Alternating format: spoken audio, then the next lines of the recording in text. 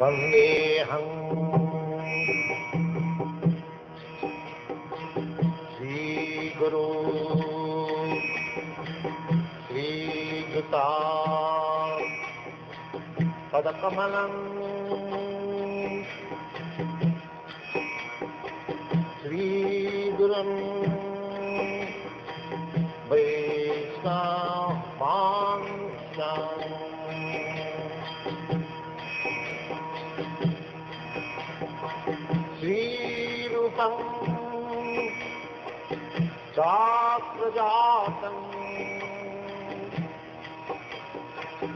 सहगना रघुनाथान्वितम् त्वं सजीवम्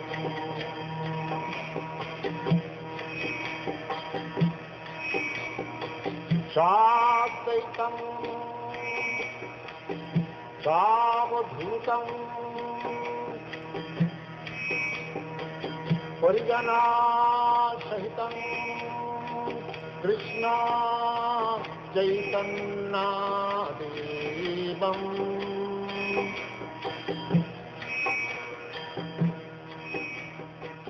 Shri Radha El destino del yogi que fracasa.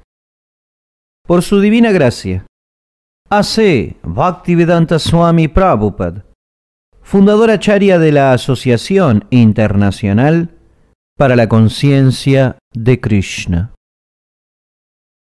No es que el Bhagavad Gita rechace el método del yoga de la meditación, lo reconoce como un método genuino, pero también indica que no es posible practicarlo en esta era. De manera que Sri Krishna y Arjuna dejan de lado rápidamente el tema del sexto capítulo del Bhagavad Gita.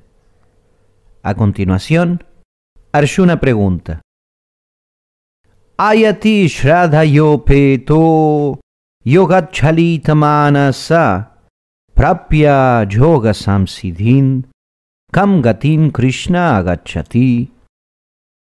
¿Cuál es el destino del que tiene fe, pero no persevera? Del que comienza el proceso de la comprensión espiritual del yo, pero desiste más adelante, a causa de su mentalidad mundana, y debido a ello no alcanza la perfección en el misticismo? Bhagavad Gita, capítulo 6, texto 37. Es decir, Arjuna pregunta lo que ocurre con el yogi que fracasa, o la persona que intenta practicar yoga, pero por alguna razón desiste de ello sin alcanzar el éxito. Es algo parecido al estudiante que no obtiene su título por haber abandonado la escuela. En otra parte del Gita, Sri Krishna señala a Arjuna que, entre muchos, son pocos los que se esfuerzan por lograr la perfección, y entre estos, y entre estos, son solo unos pocos los que la consiguen. Por eso, Arjuna se interesa por este gran número de fracasos. Incluso si alguien tiene fe y se esfuerza por lograr la perfección en el sistema del yoga, Arjuna señala que quizá no la logre a causa de su mentalidad mundana. Kachin no vaya ni brashtash, chinnabram ivanashyati. Aprastito mahabaho vimudo brahmanapati. Oh Krishna, el de los poderosos brazos, sigue diciendo Arjuna.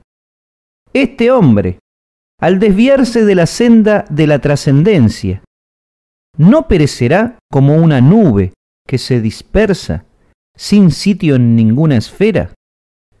Bhagavad Gita capítulo 6, texto 38. Cuando una nube es dispersada por el viento, no se vuelve a formar.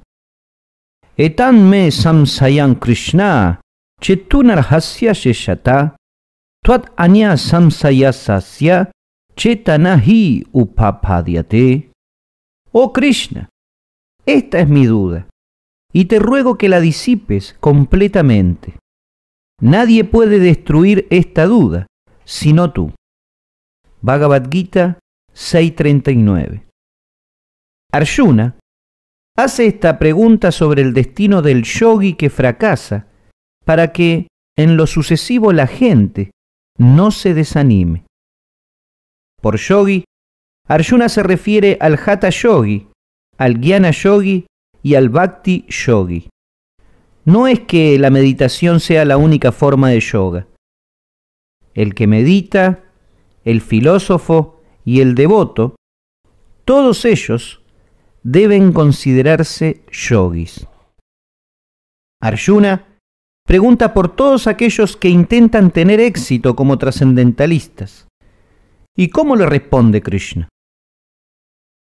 Shri Bhagavanu Vacha Partanaibeha Namutra Vinasastasya Vidyate Nahi Kalya Nakrit Kachit Durgatin Tattagachati. Aquí, como en muchas otras ocasiones en el Gita, se menciona a Sri Krishna como Bhagavan. Este es otro de los innumerables nombres del Señor. Bhagavan significa que Krishna es el dueño de seis opulencias.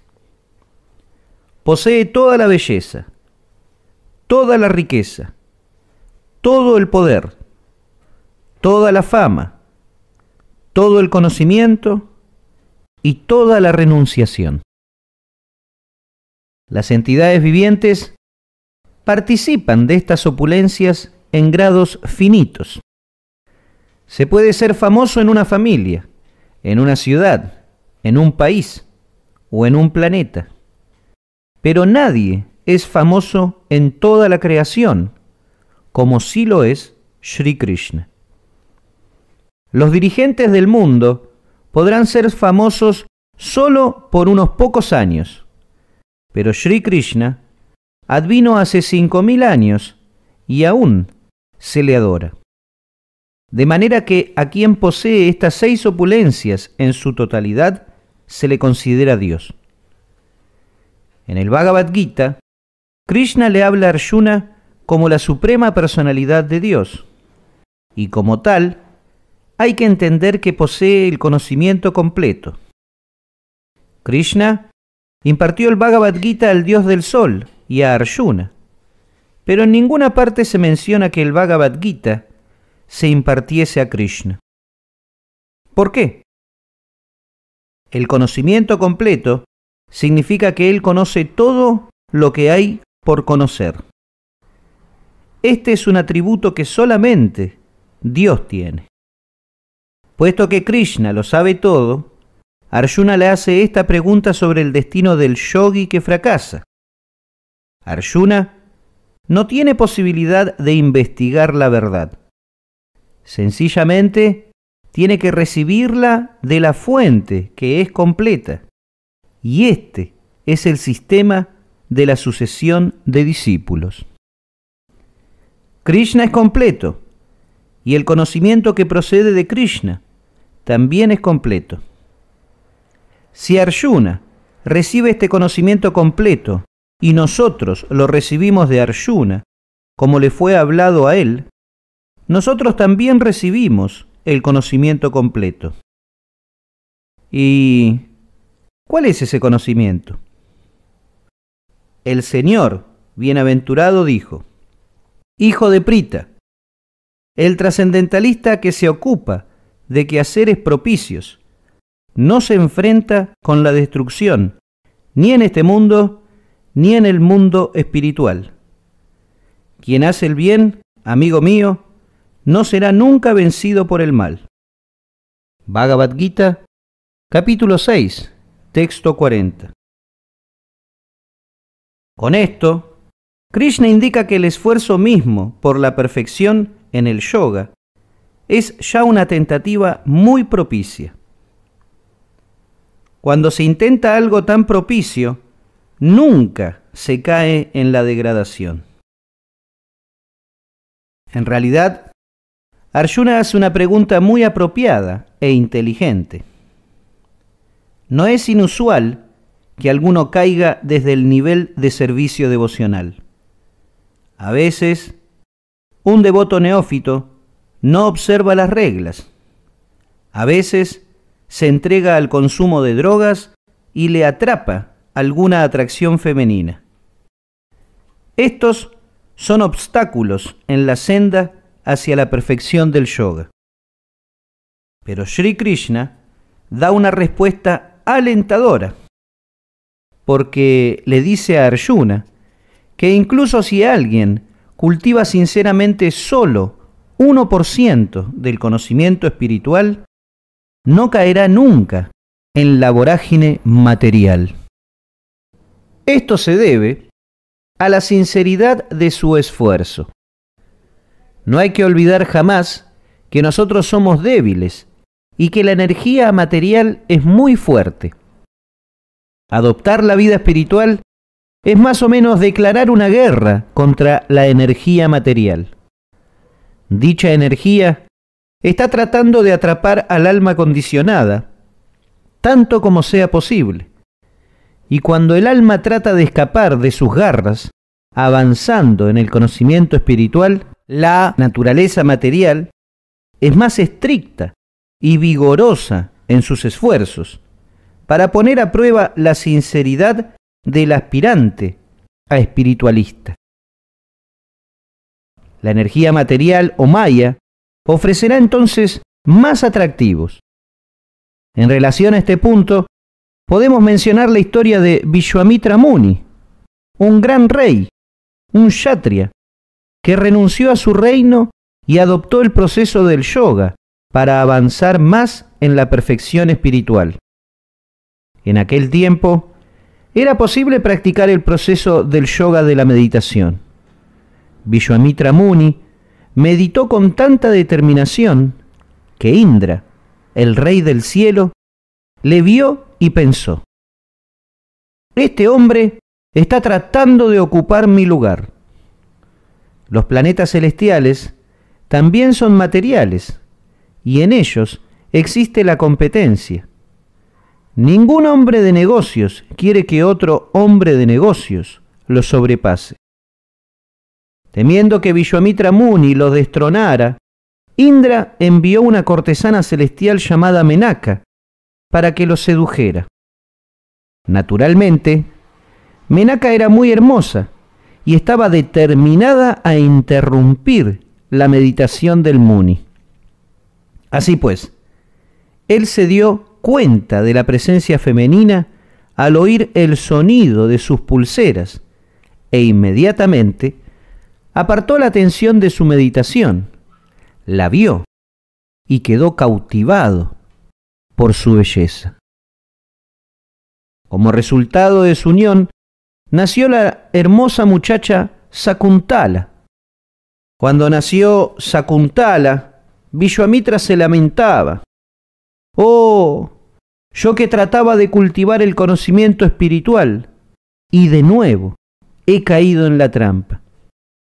Él estaba a punto de huir cuando Menaka trajo ante él a su preciosa hija y lo regañó. A pesar de sus súplicas, Vishwamitra decidió marcharse de todos modos. De manera que hay muchas posibilidades de fracasar en la senda del yogi. Hasta un gran sabio como Vishwamitra Muni puede caer a causa de la tentación material. Aunque el Muni cayese entonces resolvió seguir otra vez el proceso de yoga, y esta debe ser nuestra resolución. Hay un famoso proverbio que dice, el fracaso es el pilar del éxito. Especialmente en la vida espiritual, el fracaso no debe desanimarnos. Krishna dice claramente que incluso si hay fracaso, no hay pérdida ni en este mundo ni en el próximo. Aquel que toma el camino propicio del cultivo espiritual nunca será vencido completamente. Ahora bien, ¿qué ocurre exactamente con el espiritualista fracasado? Sri Krishna lo explica de manera específica. Prapya punya kritan lokam usitva sasvati samaha suchinan shrimatangehe yogo brashto vijayate athava yoginaneva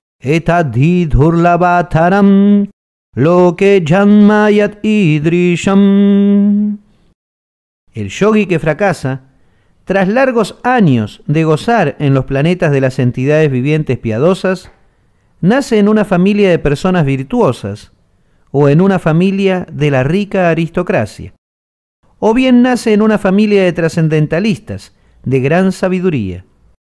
Ciertamente, tal cuna es rara en este mundo. Bhagavad Gita, capítulo 6, texto 41, 42. Hay muchos planetas en el universo, y en los más elevados hay más comodidades. La vida dura más, y sus habitantes son más religiosos y más piadosos. Puesto que se dice que seis meses de la Tierra son lo mismo que un día en los planetas superiores, el yogi fracasado pasa en esos planetas largos años. Las escrituras védicas describen su vida como de una duración de 10.000 años, de manera que, aunque un yogi fracase, se eleva a los planetas superiores. Pero no se puede permanecer allí para siempre. Cuando terminan los resultados o el fruto de las propias acciones piadosas, se tiene que volver a la Tierra.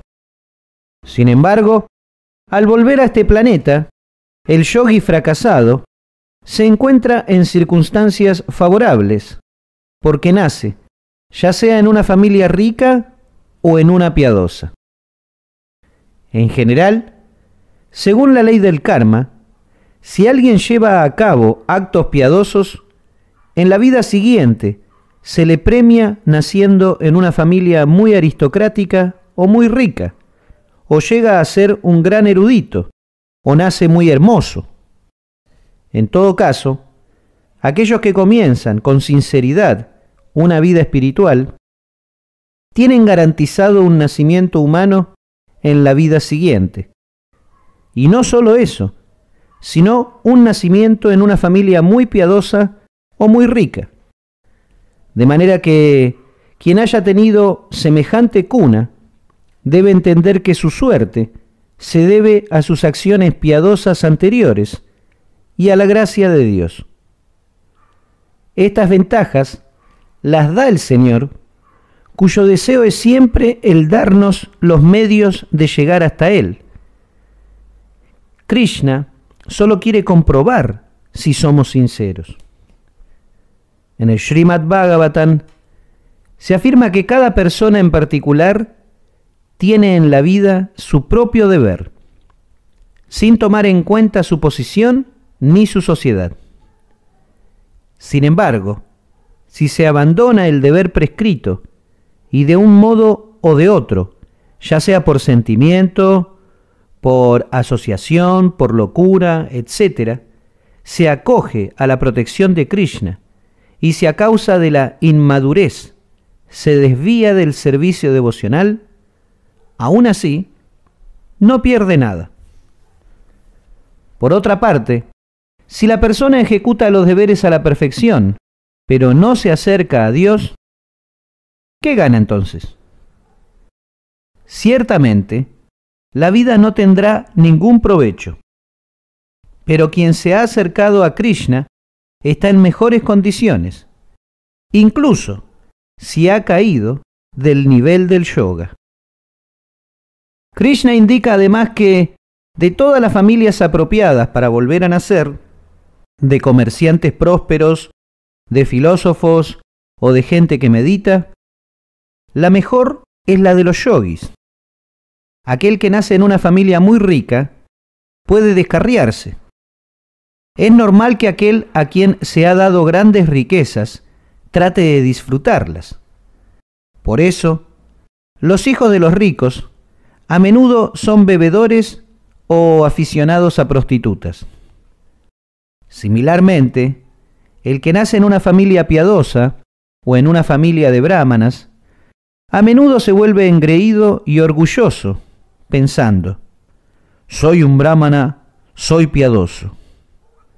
Existe la posibilidad de degradarse, tanto en una familia rica como en una piadosa.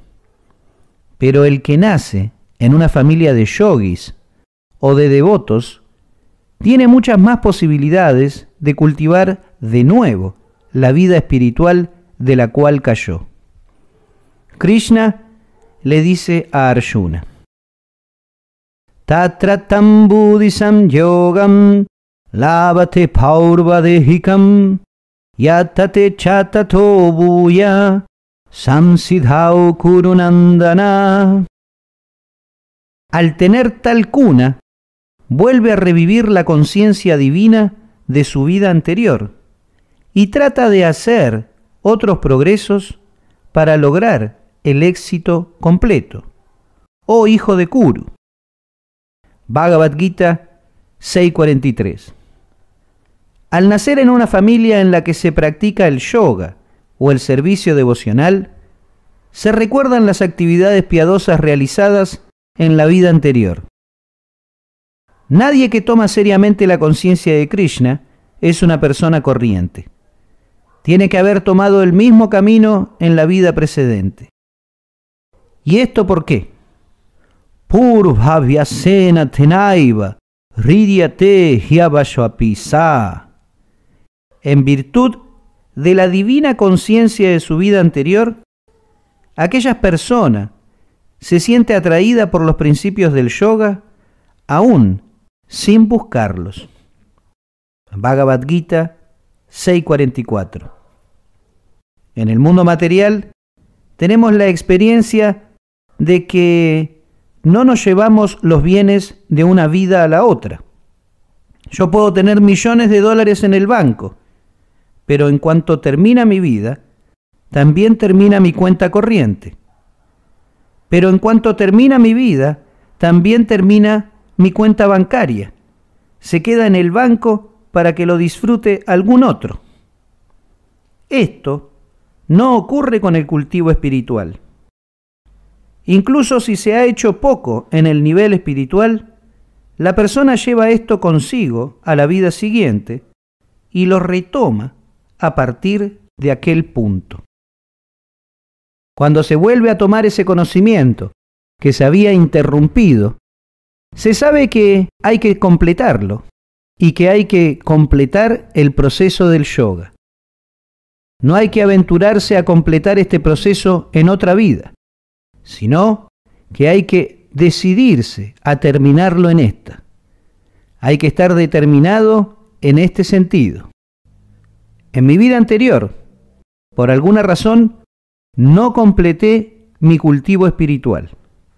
Ahora, Krishna me ha dado otra oportunidad, de manera que he de completarlo en esta vida.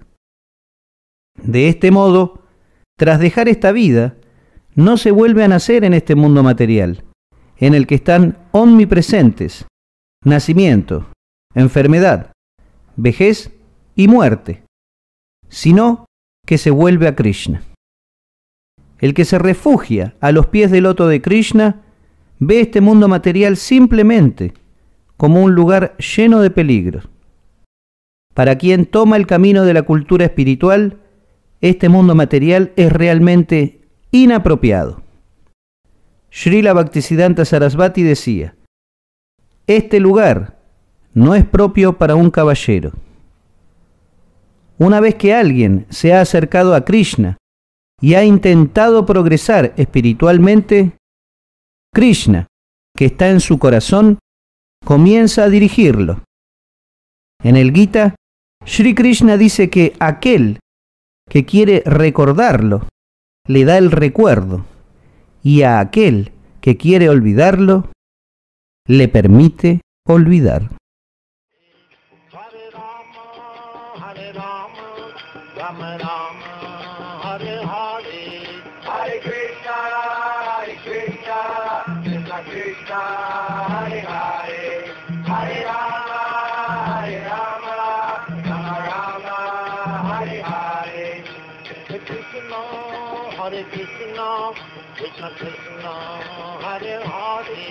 Hare Rama, Hare Rama, Rama Rama, Hare Hare. Hare Krishna, Hare Krishna, Krishna Krishna, Hare Hare, Hare Rama, Hare Rama, Rama Rama, Hare Hare. Hare Krishna, Hare Krishna, Krishna Krishna, Hare Hare, Hare Rama, Hare Rama, Rama Rama, Hare Hare. Hare Krishna, Hare Krishna, Krishna Krishna,